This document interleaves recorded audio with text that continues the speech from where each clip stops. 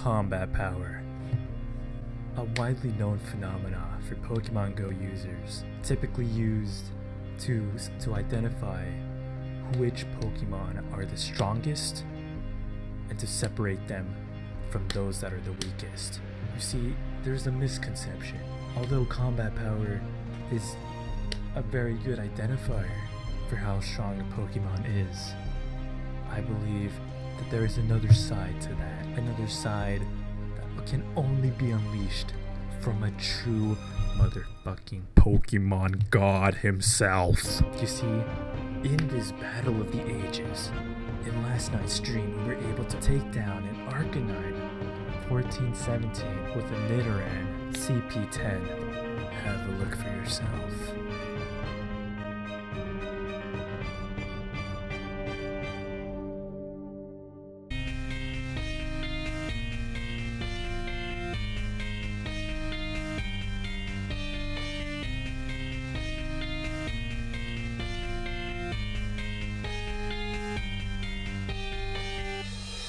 Yo, wait, whoa, whoa, wait. What the fuck just happened? Yo, hey. What the fuck?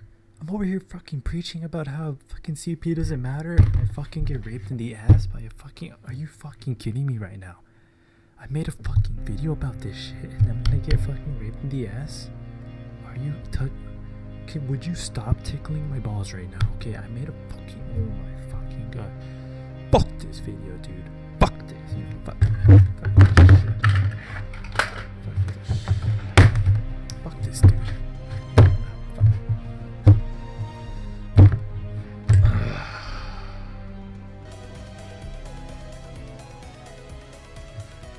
made a fucking video about how CP doesn't.